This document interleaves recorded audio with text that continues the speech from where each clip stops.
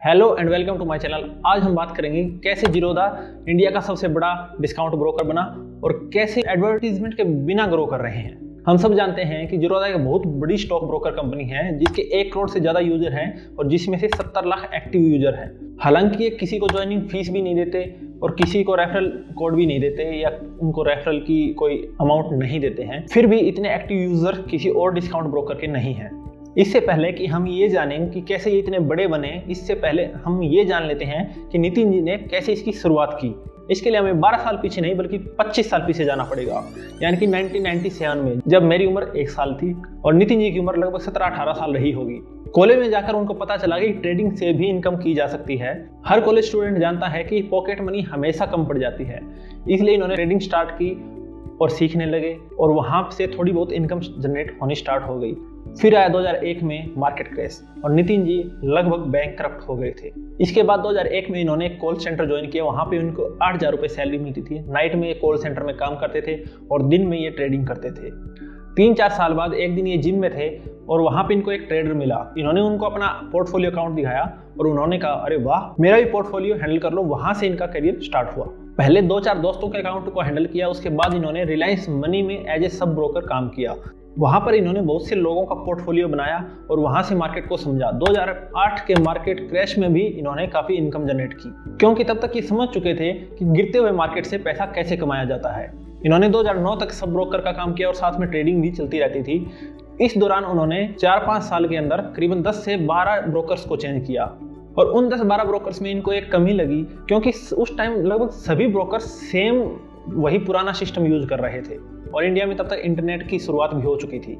इसके बाद इन्होंने एक ट्रेडिंग से रिलेटेड एक ब्लॉग भी स्टार्ट किया था, वहाँ पे भी अच्छा ट्रैफ़िक आना स्टार्ट हो गया था। उन लोगों ने भी कहा कि एक अच्छा प्लेटफॉर्म होना चाहिए जहाँ पे हम अच्छे से ट्रेडिंग कर सकें। तो इसके बाद इन्होंने सोचा कि अब टाइम आ गया है खुद का कुछ करने का। और इन्होंने 2010 में जीरोधा को स्टार्ट किया। जीरोधा का असली मतलब है ज़ीरो यानी कि ज़ीरो रोधा का मतलब नो बैरियर यानी zero barrier in your investment journey लोगों को ये लगता है कि जीरोधा ने 2010 में स्टार्ट किया था, लेकिन उनको जो पीछे की दो तेरह साल की जर्नी है, वो कोई नहीं देख रहा। इनका मेन विजन है लो कॉस्ट और ट्रांसपेरेंसी का।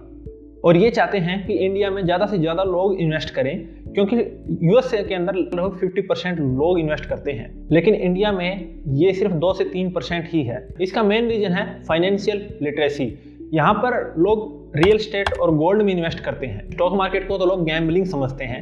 इंडिया में अब लोगों को समझ में आने लगा है कि स्टॉक मार्केट कोई बड़ी तोप नहीं है।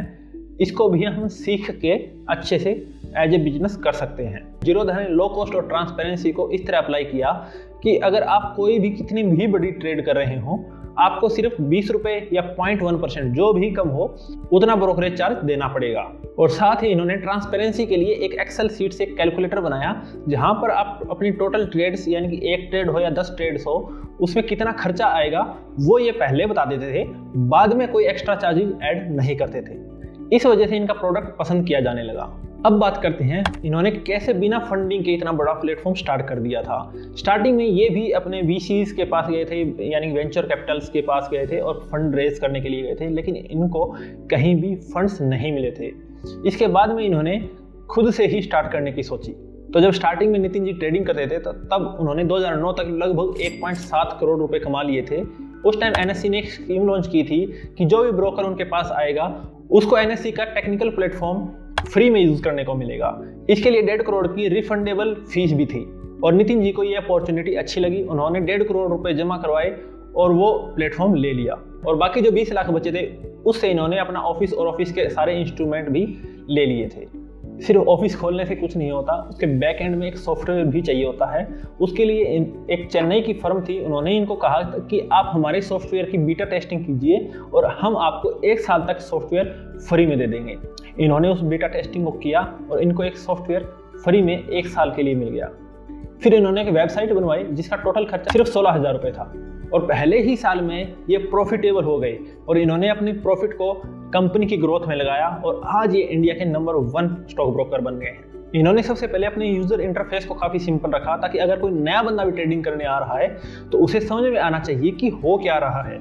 इसके बाद इन्होंने अपना एक वर्सिटी प्लेटफॉर्म लॉन्च किया जहाँ पर आप स्टॉक ट्रेडिंग फ्री में सीख सकते हैं। अब बात करते हैं कि कैसे ये एडवर्टीजमेंट के बिना कस्टमर को कैप्चर करते हैं। जैसे मैंने पहले बताया कि नितिन जी एक ब्लॉग स्टार्ट कर रखा था 2009 में तो इनके जो फ़र्स्ट 1000 कस्टमर थे, वो वहाँ से ही आ गए थे।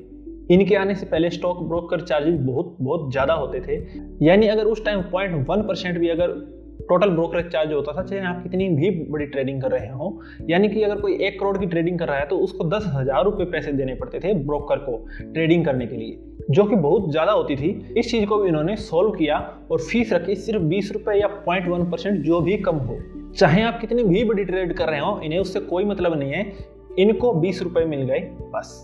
उसके बाद अब इन्होंने वर्सिटी और जी कनेक्ट नाम से भी प्लेटफॉर्म लॉन्च कर रखे हैं, जहाँ पे आप फ्री में स्टॉक मार्केट सीख सकते हैं। और ये जो इन्होंने प्लेटफॉर्म बनाए हैं नॉलेज के लिए, इससे भी कस्टमर काफ़ी अट्रैक्ट होते हैं। और इनकी सर्विस इतनी अच्छी है कि इनकी वर्ड ऑफ़ माउथ मार्केटिंग बहुत अच्छी हो रही है। इनको कहीं भी एड्स लगाने की ज़रूरत नहीं पड़ रही। साथ ही इनके फाउंडर्स को बुलाया जाता है अलग अलग जगह इंटरव्यूज़ के लिए, वहाँ पे इनकी फ्री में एडवर्टीजमेंट हो जाती है। इसके बाद इन्होंने दिसंबर 2015 में एक नया रूल लागू किया कि अगर आप अपना एक दिन से ज़्यादा आप स्टॉक रखते हैं तो आपको कोई ब्रोकरेज फ़ीस नहीं देनी पड़ेगी। यानी आज मैं कोई स्टॉक खरीद रहा हूँ और उसको कल या परसों बेच रहा हूँ तो उसके लिए मुझे कोई ब्रोकरेज फ़ीस नहीं देनी पड़ेगी, वो बिल्कुल फ्री है।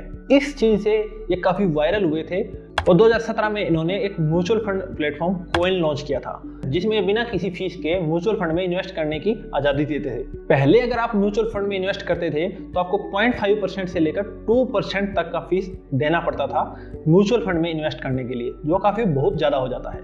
इस कोइन प्लेटफॉर्म से भी ये काफ़ी ज़्यादा वायरल हो गए थे।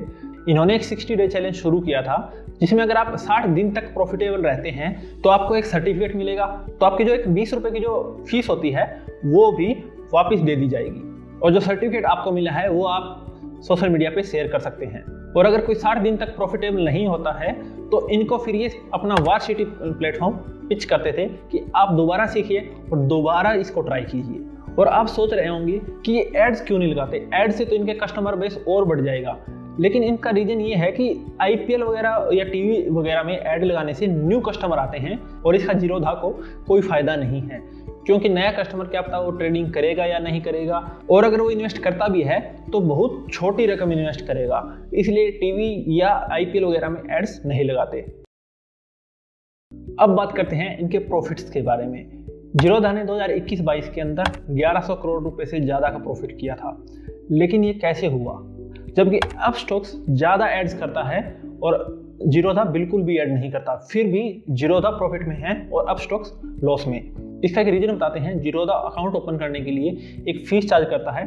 नॉर्मल के लिए तीन सौ रुपये अगर किसी को फ्यूचर एंड ऑप्शन में ट्रेडिंग करनी है तो उसके लिए पाँच सौ रुपये चार्ज करते हैं। और ये अकाउंट ओपनिंग फ़ीस अब स्टॉक्स या बाकी प्लेटफॉर्म्स में बिल्कुल फ्री है। एक्चुअल में जो तीन सौ रुपये होते हैं, ये खुद नहीं रखते, ये आगे एडवाइजरी में जमा किए जाते हैं, क्योंकि वहाँ पर ये खर्चा काफ़ी हो जाता है इनका। अकाउंट ओपन करने में इनका काफ़ी खर्चा हो जाता है। इनके अकाउंट ओपनिंग चार्ज करने से इनके कोई भी डेड यूज़र्स इनके पास नहीं आते, यानी कि बहुत कम इनके पास डेड यूज़र हो जाते हैं। जैसे अब स्टॉक्स के अंदर 50 परसेंट डेड यूज़र हैं, लेकिन जीरोधा में ये सिर्फ़ 30 परसेंट है, यानी कि जीरोधा के एक करोड़ अकाउंट हैं, लेकिन 70 लैक्स लोग इनके एक्टिव यूज़र्स हैं। जबकि अब स्टॉक्स के अंदर ये वॉल्यूम सिर्फ़ 50 परसेंट है, यानी 50 लाख लोग ही एक्टिव यूज़र हैं आप स्टॉक्स के। बाकी 50 परसेंट डेड अकाउंट है, वो कभी एप्स को ही ओपन नहीं करते। यही चीज़ उनके बैलेंस शीट में भी दिखती है कि जीरोधा को 1100 करोड़ का प्रॉफिट हुआ और अब स्टॉक्स को 70 करोड़ का लॉस हुआ। क्योंकि अब स्टॉक्स हज़ार रुपए न्यू कस्टमर को देता है, पाँच सौ रुपए रेफरल को देता है, उसके बाद तीन सौ रुपए का जो अकाउंट चार्जेज है वो भी वो फ्री में करके देते हैं।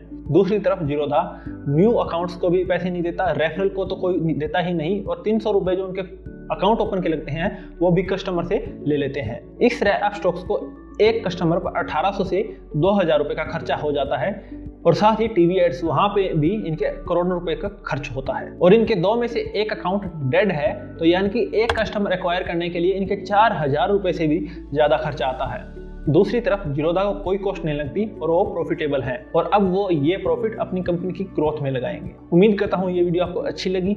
वीडियो को लाइक करें और दोस्तों के साथ शेयर करें एंड चैनल को सब्सक्राइब ज़रूर करें। Thank you